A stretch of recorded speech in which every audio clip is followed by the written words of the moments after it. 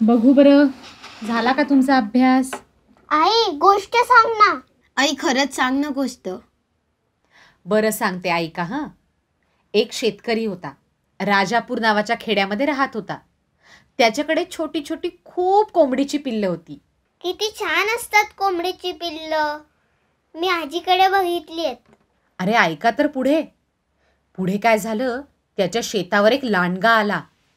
त्यांनी पाहिलं काही नटखट पिल्लं इकडे तिकडे खेळत होती. त्या लांडग्याला सणकून भूक लागली होती. मग काय झालं? मग त्या लांडग्यानी इकडे तिकडे पाहिलं आणि झडप घालून एका पिल्लाला पकडलं आणि गपकन खाऊन टाकलं. मग आता काय? तितक्यात तिथे शेतकरी आला आणि त्यांनी सर्व पिल्लांना त्यांच्या पिंजऱ्यात टाकलं. आई त्या शेतकऱ्याला कळलं का की एक पिल्लू कमी आहे? नाही ना. त्या शेतकऱ्याला इतक्या सर्व पिल्लांमध्ये एक पिल्लू कमी झालेलं कळलंच नाही. आणि आता त्या दुष्ट लांडग्याला त्या कोवळ्या पिल्लांना खायची चटकच लागली. आणि पिल्लं हळूहळू कमी व्हायला लागली. अरे रे बिचारा शेतकरी. शेतकऱ्याला पिल्लं कमी होते तशी शंका आली. त्यांनी काय केलं? दुसऱ्या दिवशी सकाळी पिल्लांना मोजायला सुरुवात केली. त्यांनी दहा पिल्लांना एका टोपलीमध्ये टाकलं. अशा किती टोपल्या भरल्या? तर पाच टोपल्या भरल्या.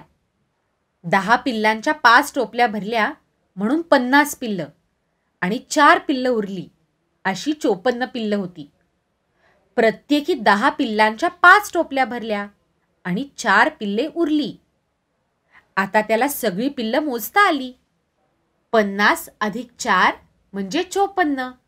दहाचे पाच गट आणि चार सुटे म्हणजे पन्नास आणि चार चोपन्न. आई हे बघ तो दुष्ट लांडगा पळून गेला. हम्म. आता मला सांगा त्या शेतकऱ्यांनी पिल्लांना टोपलीत का घातलं? म्हणजे पिल्ले मोजायला. बरोबर. आई त्यांनी प्रत्येक टोपलीत दहाच पिल्ल का घातली? अरे दहा पिल्लं मोजायला आणि बेरीज करायला सोपं जातं ना म्हणून. मला सांगा तुमची सहल कशी झाली? सहलीला खूप मज्जा आली. हम्म. बागेत खूप झेंडूची फुलं होती. हे बघ हे ना किती फुलं आणली आहेत. अरे वा. मग आपण छान फुलांनी घर सजवूया. कसं सजवणार?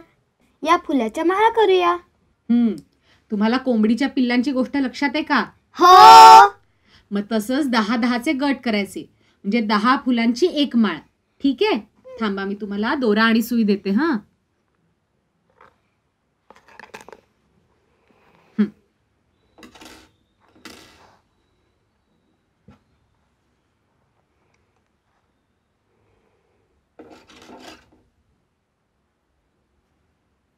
हे घे.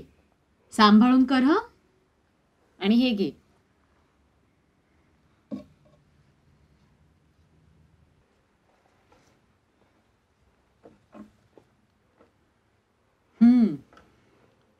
दे. बघा बरं किती फुलं आहेत? पाच माळा झाला. आणि आठ फुलं उरली. म्हणजे किती फुलं? पाच माळा म्हणजे पन्नास फुलं आणि आठ फुलं सुटी मी सांगू? हम्म. पन्नास आणि आठ अठ्ठावन्न. बर. आता जर मी तुम्हाला एकवीस फुलं दिली तर किती माळा होतील? दहा फुलं म्हणजे एक माळ वीस फुलं म्हणजे दोन माळा आणि एक फूल उरलं म्हणजे दोन माळा आणि एक फूल. बरोबर. आता आपण अजून एक खेळ खेळूया हा? हा. दोघंही हात पुढे करा बरं. आणि मला सांगा किती बोट आहेत? दोन्ही हातांचे मिळून दहा बोट. बरोबर. म्हणजे दहा अधिक दहा अशी वीस बोट. वीस अधिक दहा बरोबर तीस. सर्वांचे मिळून तीस. आता मला सांगा आपल्या सगळ्यांची हाताची आणि पायाची मिळून किती बोट होतील? प्रत्येकाची दहा हाताची दहा पायाची मिळून झाले वीस. म्हणजे वीस अधिक वीस अधिक वीस म्हणजे साठ बोट. बापरे. आता हा खेळ तुम्हाला खेळता येईल. सराव करा बरं. बर माझ्या दहा बोटापैकी मी एक बोट लपवलं. तर किती होतील? माझी दहा बोट. तुझी नऊ बोट. दहा अधिक नऊ एकोणीस.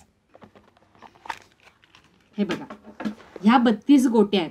याचे दहा दहाचे गट केले तर किती गट होतील? एक दोन तीन चार पाच सहा सात.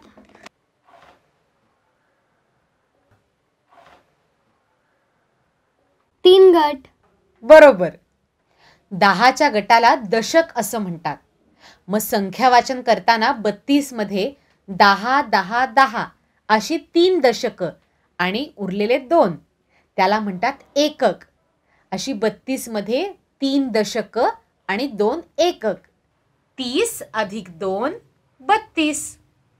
तुम्हाला कळलंय का नीट दशक आणि एकक? आता तुम्हाला मी तसंच चौसष्टचं करून दाखवते हां. चौसष्टमध्ये दहा दहा दहा दहा दहा अशी सहा दशकं.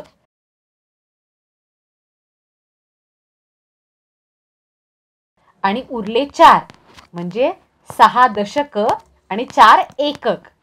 दहा दहाचे गट म्हणजे दशक आणि सुटे म्हणजे एकक. तुम्हाला नीट समजलंय ना? हो. हो. आता तसंच सत्तावन्नमध्ये दहाचे किती गट होतात ते करून बघा बरं. हो. आपण काय शिकलो? दहा अधिक दहा अधिक दहा अशा दहाच्या गटाला दशक म्हणावे. एककाच्या डाव्या बाजूला दशक स्थान असते. एक दशक म्हणजे दहा. दहाच्या पटीतील संख्या दशकच आहेत. करून तर पहा. दिलेल्या संख्येप्रमाणे दशक एकक चित्राच्या सहाय्याने दाखवा.